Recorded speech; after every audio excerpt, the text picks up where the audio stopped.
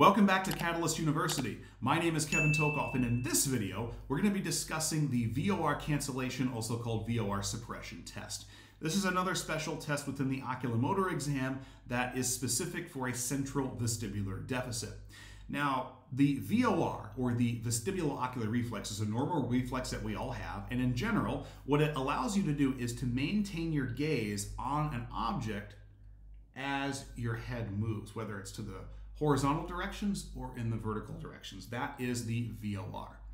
It's also important to be able to cancel the VOR. So instead of maintaining my gaze focused on that, maybe I just want to rotate my head and cancel that VOR.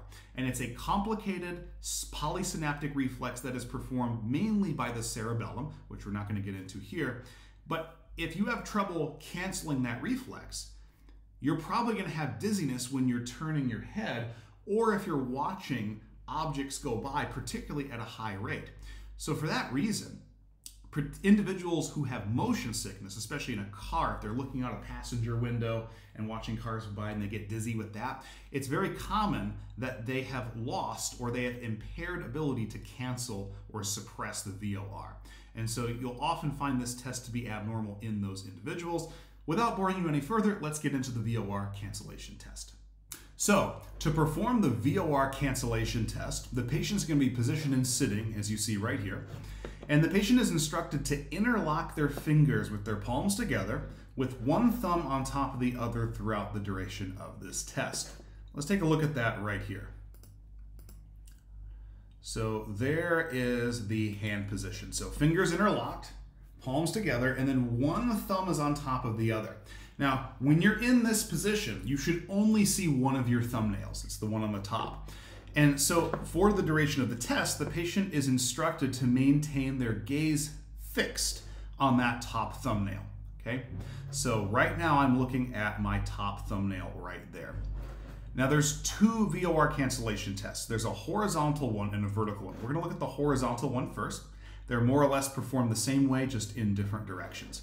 So for the horizontal VOR cancellation test, the patient will rotate between negative 30 and positive 30, so 30 degrees left, 30 degrees right, at the spine, moving their head, neck, and arms as one unit. Okay, let's take a look at that right here. So this is the horizontal VOR cancellation test. Notice all those things, my head, neck, arms moving as one unit, and I'm keeping my gaze fixed on that top thumbnail. Okay? Before we get into what constitutes an abnormal test, let's take a look at the vertical version. Okay? So here's the vertical version, pretty much the same thing, except the patient's gonna hinge up and down at the hip and low back. Again, between negative 30 degrees and positive 30 degrees, so 30 degrees up and down, moving their head, neck, and arms as one unit. Let's take a look at that here. So same hand position, and again, I'm keeping my gaze fixed on that thumbnail on the top. So 30 degrees up, 30 degrees down, just like this. That is the vertical VOR cancellation test, okay? Now, for either of these tests, what constitutes an abnormal finding?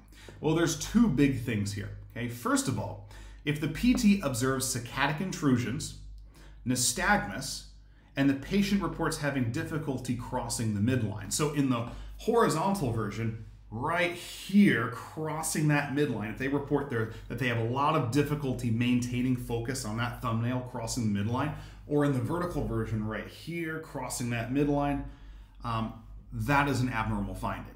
Now, obviously, to see saccadic intrusions and nystagmus, you have to be looking in the patient's eyes, and they're moving quite a bit. This is very difficult to do and it takes a lot of practice. And even a lot of times you're probably going to miss it because it's very hard to see. So, one of the things I rely on a lot is that if a patient reports that their thumbnail does not remain in focus, it blurs, it doubles, or they cannot keep up with the thumbnail, this is usually the finding that I end up relying on a little bit more.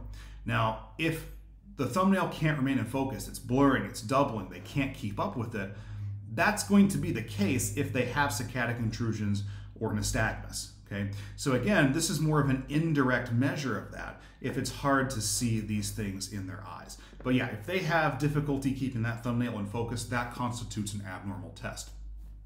Now, more often than not, what you'll actually have is patients report dizziness and sometimes symptoms consistent with that, like nausea, headache, lightheadedness.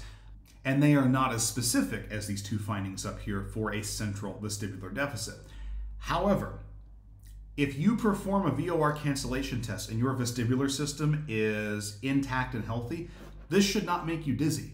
It should not make you nauseous. It should not cause any problems. It should be asymptomatic. So if there is dizziness with this, it is important to know that. And assuming that the result of the VOR cancellation test lines up with some of the results of the other central test, then you can be more assured that you are dealing with a central vestibular deficit. But if the patient presents with any of these first two results here, these first two abnormal findings, you can be a lot more sure that you are in fact dealing with a central vestibular deficit and this is definitely an abnormal VOR cancellation test. So hopefully the VOR cancellation test now makes sense to you. You learned a lot. Make sure to like this video, subscribe to my channel, and hit that notification button for notifications for all videos in the future. Thank you so much.